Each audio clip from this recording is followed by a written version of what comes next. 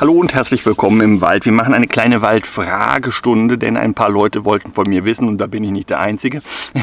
Also der Einzige, von dem Leute das wissen wollten. Das trendet gerade so, also vergleichsweise, ähm, ein wenig im Bereich der, der Outdoor, Bushcraft, Survival oder wie auch immer äh, YouTube-Szene, ähm, dass halt gerne viele Leute gerade erzählen möchten und auf den Zug aufspringen möchten, das mache ich ja jetzt auch nicht anders. Ne? Äh, ganz klar, klar den, den, den, den, den Trend bzw. den Hype oder wie auch immer man das jetzt nennen möchte mit diesen neudeutschen Internetbegriffen, ähm, ja, den möchten natürlich der ein oder andere mitnehmen, weil bringt Aufrufe und die bringen gegebenenfalls Geld und ja, da hätte ich auch nichts dagegen, ehrlich gesagt. Ne? Also mache ich da halt eben auch gerne mit, aber es wollten auch ein paar Leute eben von mir wissen. Und ähm, ja, worum geht's? Es geht um um eben Seven vs. Wild, aber das habt ihr schon im Titel gelesen. Das ist eine, für diejenigen, die das jetzt noch gar nicht mitbekommen haben, beziehungsweise bei mir zum ersten Mal davon hören, das ist eine Aktion vom Fritz Meinecke. Ähm, der hat nämlich geplant, mit sieben Nasen, sieben Tage und sieben Gegenständen in Schweden jeweils alleine äh, zu überleben. Also die sieben jeweils für sich. Und wer als letztes übrig bleibt, ist so eine Art Deathmatch sozusagen. ähm, der hat gewonnen. Ja? Und es gibt zwischendurch wohl noch Challenges, mit denen man Punkte sammeln kann für den Fall, dass äh, mehr als eine Person nach den sieben Tagen noch übrig bleibt. Ähm, Knackpunkt bei der Sache ist, die sind jeweils alleine. Das wird für den einen oder anderen vielleicht ein bisschen gewöhnungsbedürftig sein. Sieben Tage, wenn ich hier irgendwelche Dinge fange, das sind das Mücken, äh, nicht, nicht wundern. Äh, sieben Tage allein zu sein, wird für den einen oder anderen vielleicht mal eine neue Erfahrung sein. Und sieben Tage sehr sehr wenig, nämlich nur das, was man selber finden kann, es sei denn, man opfert einen seiner sieben Gegenstände für ein bisschen Nahrung.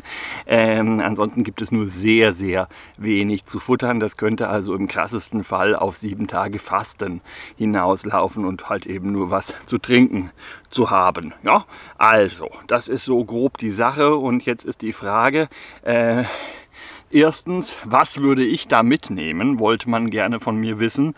Und zweitens, äh, was halte ich davon? Ja, machen wir erstmal einen kleinen Teil von zweitens, dann ganz erstens und dann den Rest von zweitens. damit es auch schön konfus ist. Ne? Also grundsätzlich gilt jetzt mal als Mensch, der schon viele Wochen in der schwedischen Wildnis verbracht hat, ähm, kann ich zumindest mal sagen, wenn man am Ufer von einem See sieben Tage erstmal einfach nur überleben möchte und äh, genügend Ausrüstung zur Verfügung hat, um sich vor den wesentlichen Sachen, die in Schweden gefährlich werden können, das ist nämlich vor allen Dingen Kälte und Wassermangel, und langfristig natürlich auch Nahrungsmangel, aber das ist halt eben erst ein Thema ab wirklich einer längeren Zeitraum, je nachdem wie speckig man unterwegs ist, äh, ein ziemlich langer Zeitraum bis hin zu eben einen selbst als Mensch mit 4 Gramm, äh, 4 Gramm Fett, nee Quatsch, 4 Prozent Körperfett oder sowas, sollte man eigentlich eine Woche fasten, normalerweise ohne größere bleibende Schäden überstehen. So, wirklich super schlanke Leute könnten da möglicherweise mit Muskelverlust aus der Nummer rausgehen, ähm, weil wenn es Fett alle ist, wird als nächstes Muskulatur abgebaut vom Körper. Irgendwo muss ja die Energie herkommen und äh, ja, das, das wäre so das Schlimmste, was zu erwarten wäre, wenn also jemand der Teilnehmenden, und da gibt es so ein paar, die durchaus so aussehen, ähm, eben sehr sehr, sehr, sehr, sehr wenig Körperfett und dafür entsprechend viel energieverbrauchendes Gewebe, Muskeln ähm, besitzt. Ne? So, ähm, also grundsätzlich die zwei Sachen, um die man sich halt in Schweden wirklich sorgen muss, im Sommer wohlgemerkt. Trotzdem äh, Schutz vor Wetter, Schutz vor Kälte. Es kann nachts noch relativ kühl werden. Das kann schon reichen, dass man da Probleme bekommt. Zweitens eben Wasserversorgung. In Teilen von Schweden kann es auch mal eine recht trockene Gegend geben, wo dann noch Trinkwasser und das vor allen Dingen auch in vernünftigen Qualitäten gar nicht so einfach zu kriegen ist. Das wird jetzt hier allerdings nicht das Problem sein, da sie an einem See mit zumindest für die einheimischen Trinkwasserqualität ausgesetzt werden werden. Woher weiß ich das? Habe ich irgendwelche Insider-Informationen? Nö, aber es gibt in Schweden fast nur, nahezu ausschließlich Seen mit äh, für die Einheimischen Trinkwasserqualität. Ähm, warum für die Einheimischen? Naja, deren Darmflora und ganzer Verdauungsapparat ist an dieses Wasser gewöhnt. Die können das problemlos trinken. Ähm, darauf hat sich der Körper eingestellt, dass das eben ihr Trinkwasser ist. Es muss nicht zwingend so sein, dass das für einen Europäer, der nahezu äh, steriles deutsches, fast, ne? es ist nicht steril, aber fast äh, steriles deutsches Leitungswasser gewöhnt ist oder Wasser aus der PET-Flasche oder was auch immer ähm, oder Cola in meinem Fall. Ne? Ich bin da ja ein ganz mieses Beispiel. Ja? Also ich will da keinesfalls irgendjemand anderen runtermachen, was, was Zivilisationsgetränke angeht, bin ich ja ganz vorne dabei an, an, an, an Schlimmheit. Ja? Also so ist das ja nicht. Aber äh, trotzdem, Tatsache ist, biologisch gesehen, so ein Seewasser kann, wenn man es gar nicht aufbereitet, für einen, äh, sage ich jetzt mal, deutschen Magen, der eben nicht an diesem See üblicherweise sich aufhält und ständig so ein Wasser trinkt, durchaus auch zum, ähm, ja, unschönen Dingen, sage ich jetzt mal, führen. Also im schlimmsten Fall wird man krank, im besten Fall gar nichts. Äh, Im mittleren Fall, und das ist auch gar nicht so unrealistisch, gibt es ein paar Tage Durchfall. Und dann hat man sich aber möglicherweise an das Wasser auch gewöhnt, selbst wenn man größere Mengen davon trinkt. So schlimm kann es nicht sein, sonst würden es die Einheimischen vor Ort auch nicht trinken können. So, ja, also diese zwei sind so die wesentlichen Probleme. Man muss ja bei irgendwelchen Survival-Szenarien sich immer die Frage stellen, was bringt mich als erstes um und das, was mich als erstes umbringt, das muss ich als erstes dagegen vorgehen sozusagen, beziehungsweise mich darum kümmern, dass mich das halt eben nicht umbringt. Und das sind eben Wasser und Kälte in einem, ich sage jetzt mal, südschwedischen Szenario. Möglich wäre es theoretisch, dass das ein See ist, der irgendwo jenseits des Polarkreises liegt. Ich glaube es aber nicht. Ja, wenn das doch so sein sollte, dann sind natürlich alle Sachen, die ich jetzt gesagt habe, gegebenenfalls nicht mehr so ganz zutreffend. Aber ja, so. Ähm, das also mal vorweg, dann kommen wir zu den Ausrüstungsgegenständen, die ich da mitnehmen würde. Äh, grundsätzlich darf man nicht alles mitnehmen, was einem möglicherweise einfallen würde, sonst würde ich nämlich als erstes mal sagen, ein Zelt. Ein Zelt ist aber verboten, äh, daher dann eben halt ein Tarp. Und was für ein Tarp darf man da mitnehmen? Ein bis zu 3 mal 3 Meter und das wäre es dann logischerweise auch. Das ist wohl gedacht, ohne Heringe und ohne Schnur, vermutlich. Ja. Genaue Regeln, wie gesagt, das wissen nur die Schiedsrichter letztendlich. Ähm, und die Teilnehmer werden das natürlich auch kommuniziert bekommen, aber mir hat es keiner gesagt, natürlich. Äh, klar. Ähm, und dementsprechend gehe ich mal davon aus, dass damit wirklich bloß die Plane gemeint ist. Das heißt, man müsste sich Heringe aus Stöckchen zusammen improvisieren. Äh, wie geht das? Naja, du nimmst einen Stock und äh, steckst den, äh, brichst den durch und steckst den in den Boden und dann hast du einen improvisierten Hering. Je nach Boden geht sowas dann schon rein. Äh, möglicherweise muss man sie so brechen, dass sie eine etwas spitzere Kante kriegen, damit sie besser in den Boden gehen. Es liegen aber auch garantiert, garantiert an jedem schwäbischen See, äh, der in Schweden ist, auch schöne Hammersteine rum, mit denen man dann notfalls auch einen stumpfen Stock relativ gut in die Erde getrieben bekommt oder mehrere Stöcke nebeneinander oder sonst irgendwas, mit dem man einen Hering sicherlich ganz gut improvisieren kann. Selbst wenn das gar nicht geht, dass man überhaupt keine Stöckchen in den Boden geklopft kriegt, dann legst du halt Steine dahin, wo du gerne einen Hering hättest und zwar ordentlich große, die dann auch ausreichen, um entsprechend Spannung aufs Tab zu bringen. Da das Gewicht vollkommen egal ist, würde ich mich dann für ein sehr solides, äh, robustes Tab aus dickem Material entscheiden, das dann eben eine Beschwerung mit Steinen und bei entsprechend Wind und entsprechend Gewackel äh, den Zug, der dadurch resultiert und die Reibung am Stein dann auch entsprechend aushält. So, ähm, jetzt muss man das noch irgendwie abspannen. Da gibt es Formen des Aufbaus. Meistens nennen die meisten Leute nennen das Diamantaufbau, äh, also quasi so in, in so einer Form wie so ein sterilisierter äh, Diamant. Und das geht deswegen gut, weil hier machst du an den Ecken quasi Hering, hinten Hering und vorne kommt dann ein Stock rein, den du nach innen spannen kannst. Also schwer zu beschreiben, wenn man das nicht vormacht. Ähm, aber das hebt dann durch die Spannung des Stocks, den man da wirklich reinspannt gegen, die, gegen das Material sozusagen, geht das notfalls auch ohne Schnur. Ist persönlich nicht gerade mein Lieblingsaufbau, mag ich nicht besonders, aber gehen tut das, falls mir nicht noch in irgendeiner Form irgendwo zusätzlich noch eine Schnur gegeben ist, weil zum Beispiel an dem Container oder an der Tasche, mit der man seine Ausrüstung transportieren darf, am Anfang da ist vielleicht noch eine Strippe dran oder sonst irgendwie. Aber wenn es ganz ohne Schnur sein soll, dann müsste es so einen Diamantaufbau entsprechend tun. Da gibt es diverse Tutorial-Videos auf YouTube, da würde ich mir dann gegebenenfalls auch noch mal eins angucken, weil ich eben diese Diamantgeschichten normalerweise nicht verwende. Aber das ist das Thema Tab. So, jetzt hätte ich eine Isomatte mitgenommen, darf ich nicht, also nehme ich halt nur einen Schlafsack. Und ansonsten gibt es in Schweden beispielsweise Rentierflechte oder Weißmoos, sind beides, sofern sie gerade trocken sind. Wenn nicht, müsste man halt warten, bis sie trocken werden und sich so lange was anderes überleben, beispielsweise ein Stück vom Tab als Bodenunterlage nehmen oder einen Haufen Kiefernadeln aufhäufen äh, und da dann halt eben drauf nächtigen, um eine Isomatte zu improvisieren. Aber im Idealfall für eine langfristige Geschichte und wenn es gerade trocken ist, wenn man ankommt natürlich, ja, wenn es später dann mal regnet, ist das Zeug ja unterm Tab, würde sich anbieten Rentierflechte oder eben Weißmoos als wunderbare, in riesigen Mengen verfügbare Unterlage, die man dann sich eben in seinen Tab auf den Boden schmeißt und dann auch eine gemütliche Liegefläche hat für den Schlafsack. Das Schöne übrigens am Diamantaufbau von dem Tarp ist, dass man zum Teil, also Teile des Tarpmaterials auch als Bodenfläche gleichzeitig noch verwenden kann. Dann könnte man sich noch überlegen, wenn man zum Beispiel größere Schwierigkeiten hat, äh, auf so einem Naturmaterial direkt mit dem Schlafsack zu liegen, ob man das Naturmaterial nicht unter die Tarpfläche, die man im inneren Bereich als Boden zur Verfügung stehen hat, äh, drunter packt und dann quasi auf seinem Tarp liegt und dann nicht so sehr mit den möglicherweise sich in den genannten Materialien befindlichen Kriechviechern in Berührung kommt. So, was für ein Schlafsack? Na, irgendwas Warmes. Es ist ja schnurzpiep egal, äh, welche Ausrüstung bzw. welches Exemplar der Ausrüstung. Dann würde ich auf jeden Fall sicherheitshalber einen deutlich wärmeren Schlafsack, als zu erwarten notwendig ist, äh, mitnehmen, weil wenn es nichts zu fressen gibt, dann heizt du auch nicht gescheit. Und dann äh, gelten die normalen Temperaturwerte für die Schlafsäcke ohnehin nicht mehr. Und das heißt, ein, einer, der bis minus 10 geeignet ist, hilft dann nur noch bis 0. Irgendwie so um den Dreh darf man das auf keinen Fall vernachlässigen, dass man halt eben, wenn man nichts futtert, auch den Schlafsack nicht gescheit aufheizen kann. Daher muss es wirklich ein ordentlich warmer Schlafsack sein, auch wenn bei den Sommertemperaturen im August in Südschweden vermutlich eben, wie gesagt, das ist reine Spekulation, ja, ich weiß das nicht.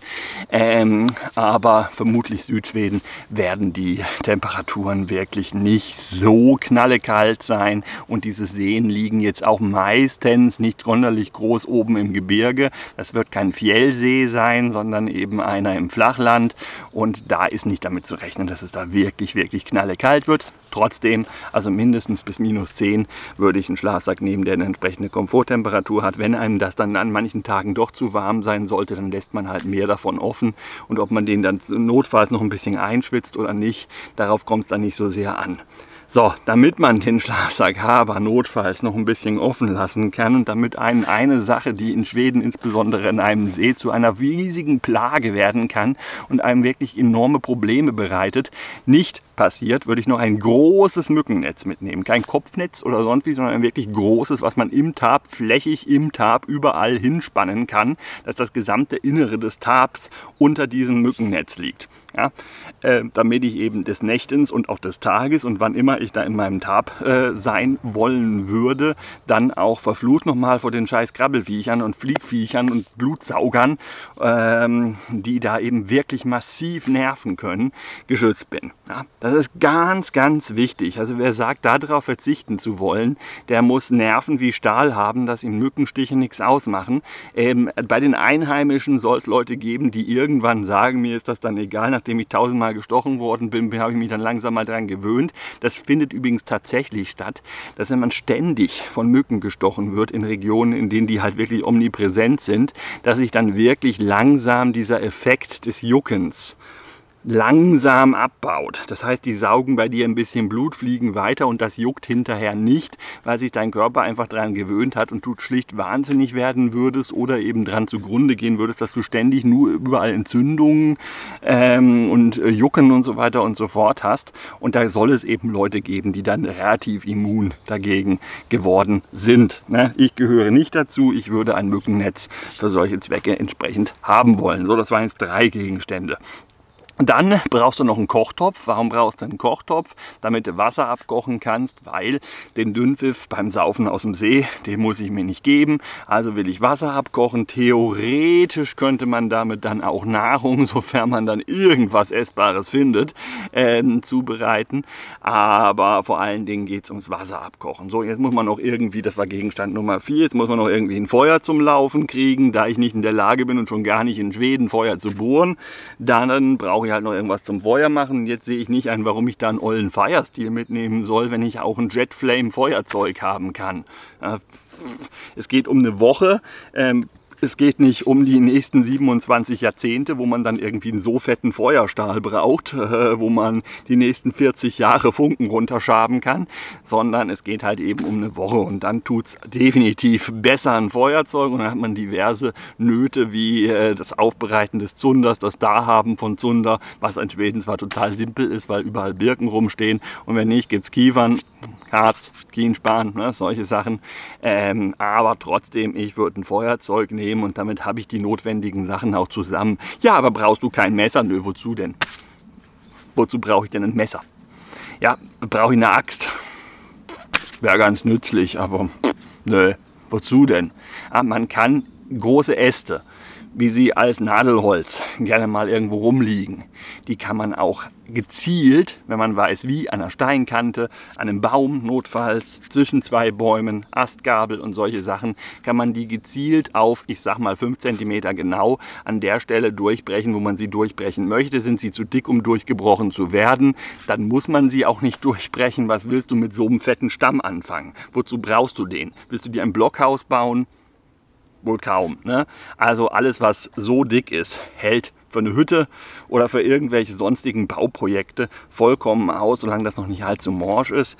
Ähm, und wenn es morsch ist, dann könntest du es auch mit Werkzeug entsprechend nicht verwenden. Und also da sehe ich keine Notwendigkeit. Ich meine, was soll ich denn? Soll ich mir einen Stuhl bauen? Okay, dann habe ich einen Stuhl hilft mir das jetzt irgendwie furchtbar signifikant weiter. Sitze ich lieber in meinem Stuhl äh, oder anstatt an einem Baum gelehnt, irgendwo auf einem Moospolsterchen an den Baum gelehnt zu hocken, das ist auch super gemütlich. Man kann sich auch einen Stein suchen, einen bemoosten Stein. Wenn nicht, bemoost man ihn halt selber, der in, in, in, ja, in Couchform dasteht oder irgendeine schöne Steinmulde oder sonst irgendwas. Draußen gemütlich hocken ist ohnehin nur bei gutem Wetter ein Thema und das kann man sich alles ohne Werkzeug improvisieren. Da sehe ich jetzt nicht, wozu ich das dann brauchen soll.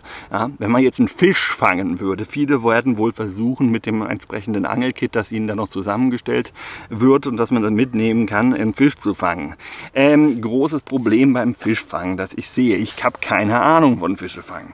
Da bin ich jetzt nicht ganz alleine mit, aber es gibt Gründe, weshalb, man in Deutschland zum Angeln einen Fischereischein braucht oder einen Angelschein, je nachdem, wie man den da nennen möchte. Ja, und der, diese Gründe liegen nicht nur in der ordnungsgemäßen Durchführung des Ganzen und in der Tatsache, dass man tatsächlich gelernt hat, was man da eigentlich tut, sondern sie liegen auch im Tierschutz und im vernünftigen Umgang mit einem Fisch. Und wenn du keine Ahnung hast, wie du mit einem Fisch vernünftig umgehst oder bestenfalls ein YouTube-Tutorial zum äh, möglichst schonenden Umgang mit dem zu töten tötenden Fisch, den man gerade geangelt hat, äh, dir angeguckt hast, dann sage ich mal, besteht das Risiko, ich sage nicht, das muss so sein, aber es besteht zumindest das Risiko, dass das ein bisschen Fischquälerei sein könnte und ein Fisch ist auch ein Tier und ergo ist das auch meiner Meinung nach Tierquälerei, weshalb ich gar nicht versuchen würde, ohne eine vernünftige Angelausbildung äh, oder Fischereiausbildung oder wie auch immer man das nennen möchte, auf die Idee zu kommen, zu versuchen, da irgendwelche Fische zu fangen. Ähm, das heißt, man kann auch Beeren sammeln. Jetzt ist es aber so, das habe ich vergessen zu erwähnen, die Regeln, die da vorherrschen, ähm, sind so, dass man sich von seinem Lager bzw. seinem Platz, der einmal zugewiesen worden ist, nicht allzu weit entfernen darf. Irgendwie 500 Meter waren da im Spiel in alle Richtungen.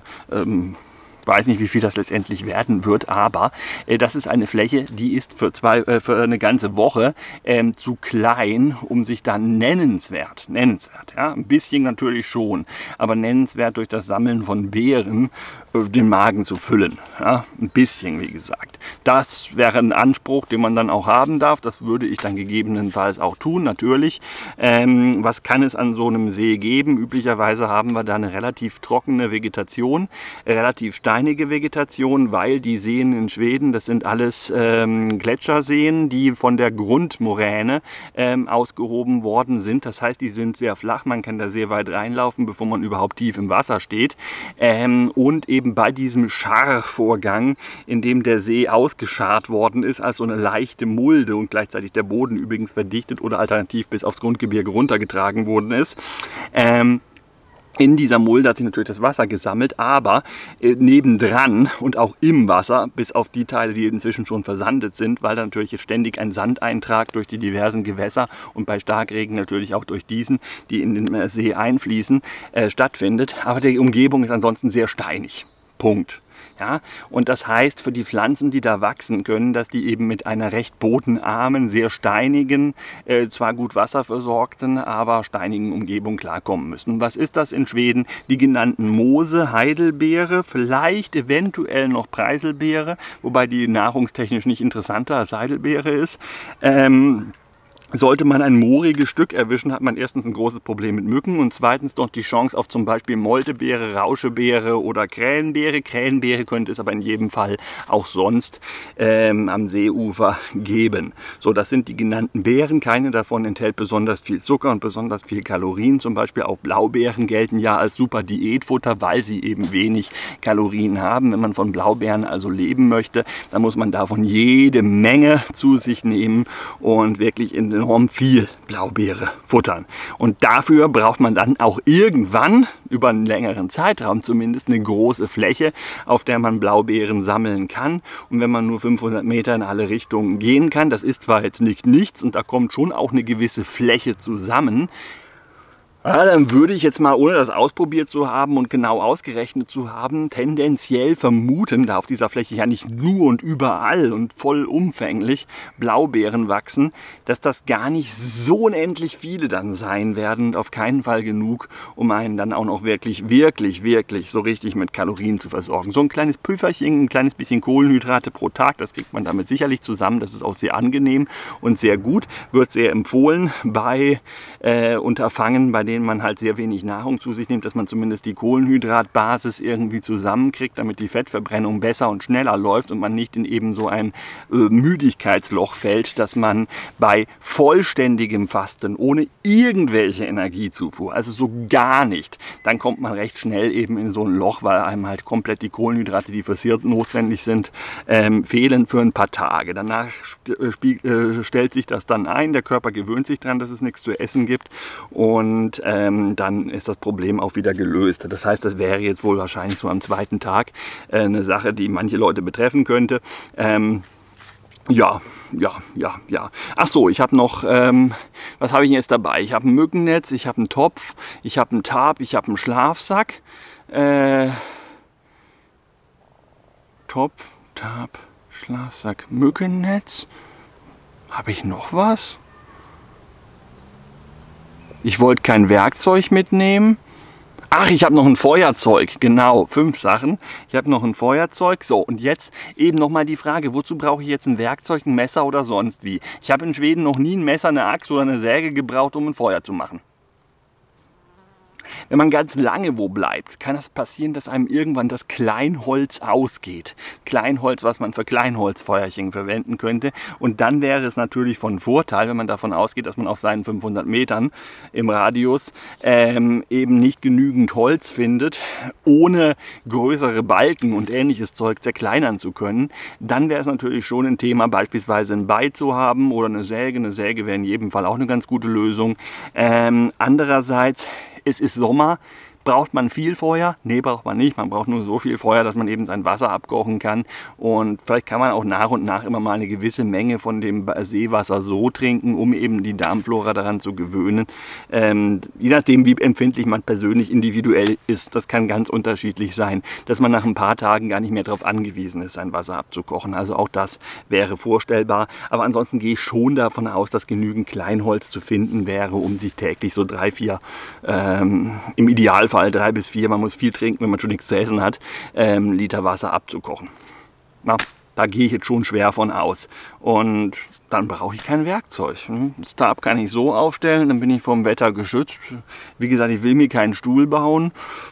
Wüsste ich jetzt nicht, wofür man jetzt da unbedingt, wohlgemerkt, Werkzeug benötigen würde. So, und damit hat man noch zwei Plätze übrig und da kann man sich jetzt fragen, was ist denn das nächste Problem, was einem möglicherweise zu schaffen macht. Ähm, nimmt man für diese zwei Plätze jetzt noch irgendwas zu mampfen mit? Da kommt es darauf an, was erlaubt ist. Essen wird wohl dabei sein bei den mitnehmbaren Gegenständen, nach dem, was ich gehört habe. Ähm, allerdings dann immer nur so kleine Mengen, die einfach so als psychischer Boost gedacht sind. Ähm, wenn es doch nicht nur kleine Mengen, sondern Gegenstände sind, die man essenstechnisch mitnehmen darf in Form von Paketen oder Gefäßen oder sonst wie, würde ich mich wahrscheinlich für zwei Flaschen Öl entscheiden.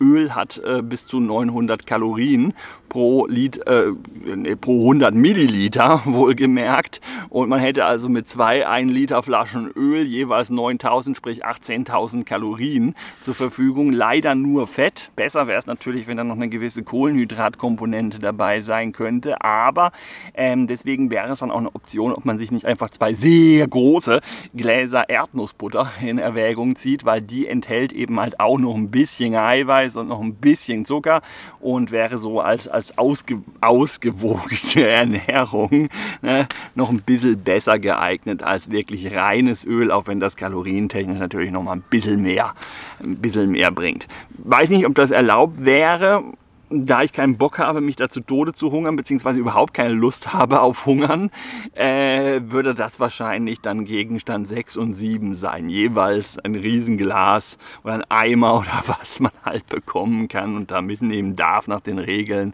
Erdnussbutter entsprechend sein. Wenn das nicht geht, dann hätte ich gerne zwei sehr dicke Bücher, weil das nächste Problem neben der Tatsache, dass man da rumhockt und hungert, ist, dass man da rumhockt und sich zu Tode langweilt gefühlt. Ja? Ähm, es ist so eine Kleinigkeit, Fähigkeit, die vielleicht ein bisschen vergessen wird hin und wieder. Die Basis Bushcraft Survival Skills, sofern man eben noch ein bisschen Ausrüstung mitnehmen darf, bestehen in Wasser finden, Lager bauen, ja, sich vor den Elementen schützen, sich warm halten, was durch die Tatsache, dass man einen Schlafsack mitnehmen darf, ziemlich einfach ausfällt und man kriegt auch ordentlich Klamotten.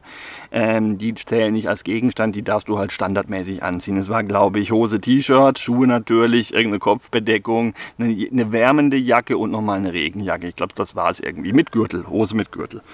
Ähm, ja, also Hauptproblem zum Überleben in so einer Situation besteht einfach darin, sieben Tage sich nicht zu Tode zu langweilen, weil verhungern kann man nicht. Was ist mit Vitaminen übrigens und Mineralstoffen? Sind die nicht unglaublich wichtig und fehlen die einem nicht nach einer Woche?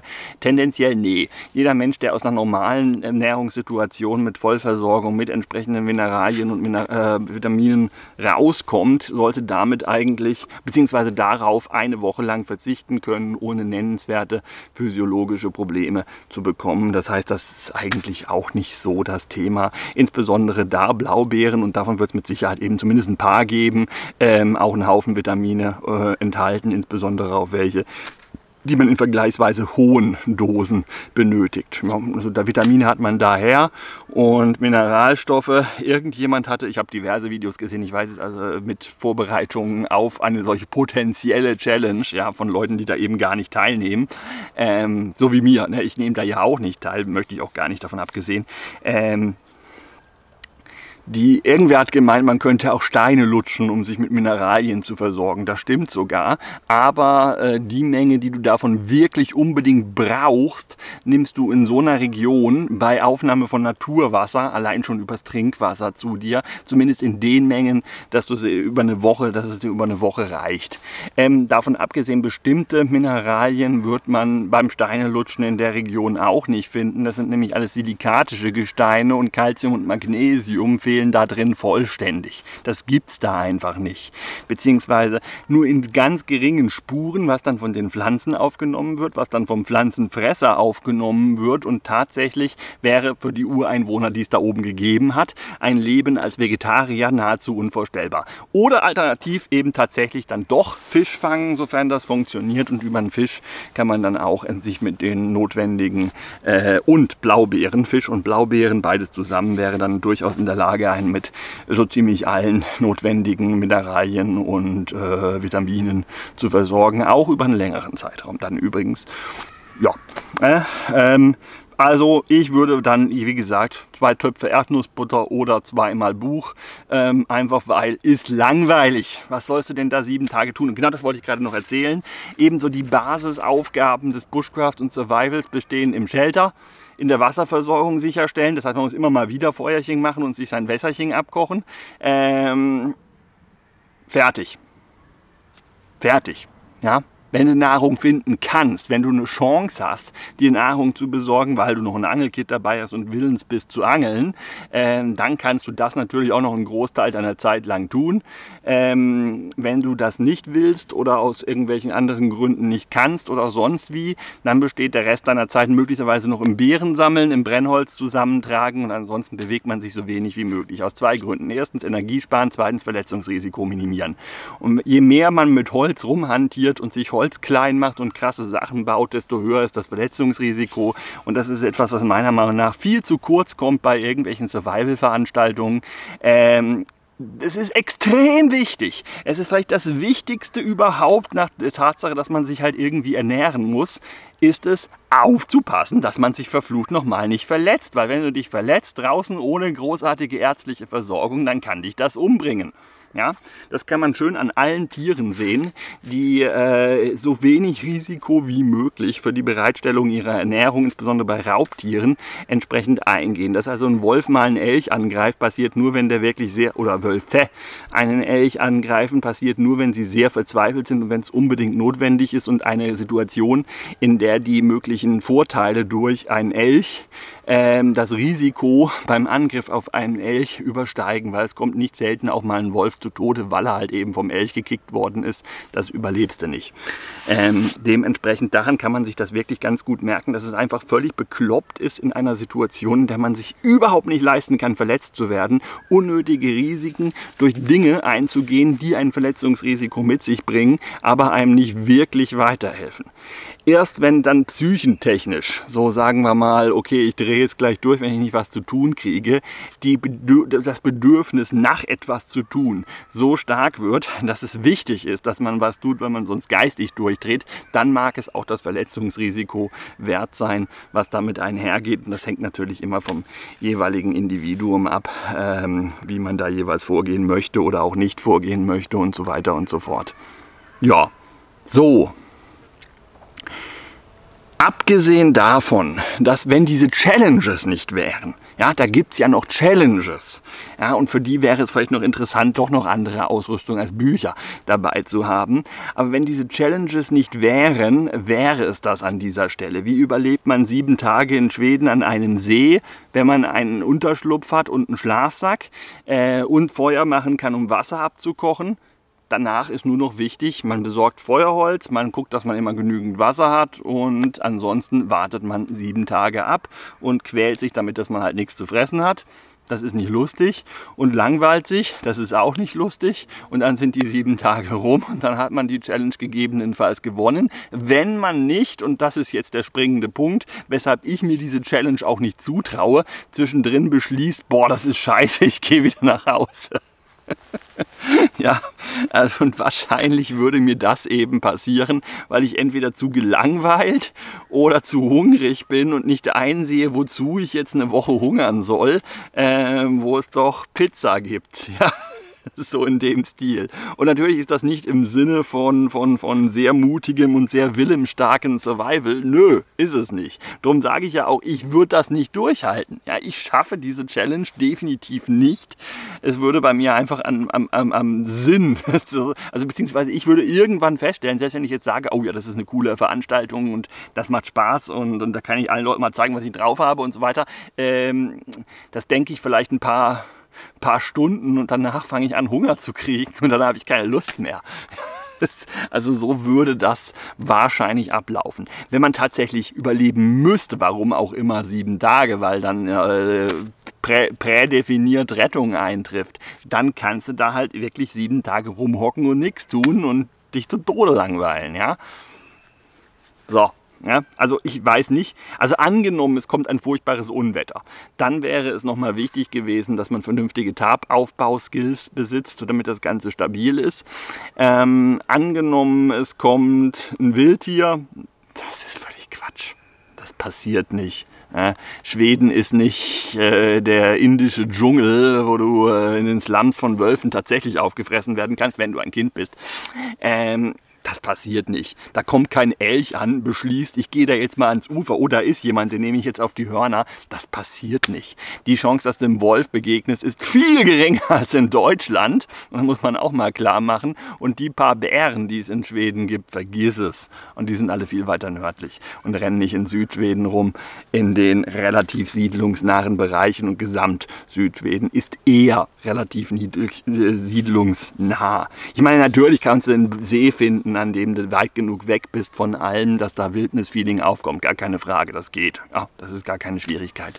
Und das ist dann auch richtiges Wildnisfeeling. Und ich möchte auch gar nicht die, die, die Wild-Komponente in den Seven vs. Wild in Frage stellen. Klar, die, die sind da schon abseits von der Zivilisation. Gar keine Frage. Das ist machbar. Ähm, ja, und es kommt eben jetzt im Wesentlichen für den Unterhaltungsfaktor der ganzen Veranstaltung, mal abgesehen von der Tatsache, dass das eben sieben sind und einzeln ausscheiden können und vermutlich auch werden, ähm, kommt es eben noch zusätzlich auf diese Challenges an, was das dann halt für lustige Sachen sind, die sie dann noch machen müssen. Vielleicht auch irgendwas im See nach, nach Stöckchen tauchen, ich weiß es nicht, keine Ahnung. Ähm, das kann dann schon sehr, sehr unterhaltsam werden. Also da denke ich schon, dass das eine coole Webserie oder wie man sowas nennt, durchaus werden werden kann, finde die Idee auch wirklich ganz klasse. Ich möchte nur halt ein kleines bisschen aus der Realismus-Ecke darauf hinweisen, so die ultra krasse Herausforderung, für die man jetzt so die ultra krassen Skill braucht, um jetzt eine Woche am See zu hocken. Nee, du brauchst Willen, ja, damit du da halt mitmachst, weil du es halt nicht musst letztendlich. Ja, du musst es ja nicht wirklich. Und du denkst vielleicht, das zu müssen, aber kannst ja jederzeit sagen, ich habe keinen Bock mehr. Ja, und das würde mich eben entsprechend äh, aufhalten. Also das ist vielleicht die härteste Sache, die psychische Komponente, dass man trotz kein Essen ähm, das weitermacht. Ja, so, das also meine Meinung zu der Thematik. Ähm, für diejenigen, die es interessiert hat und äh, für alle anderen, die sich jetzt trotzdem angeguckt haben. Bedanke mich. Bis zum nächsten Mal. Tschüss.